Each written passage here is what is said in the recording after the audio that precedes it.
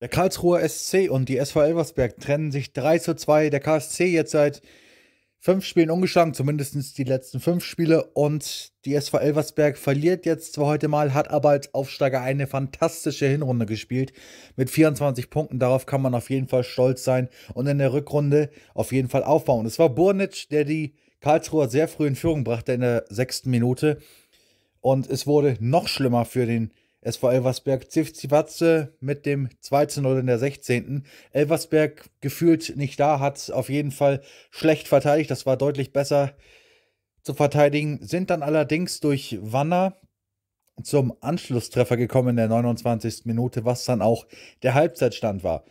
Karlsruhe ist besser in die zweite Halbzeit reingekommen und hat durch Matanovic wieder auf zwei Tore Vorsprung gestellt in der 53. auf 3 zu 1. Das schien dann die Entscheidung zu sein, allerdings hatte Schnellbacher noch was dagegen, der 10 Minuten später auf 3 zu 2 stellte.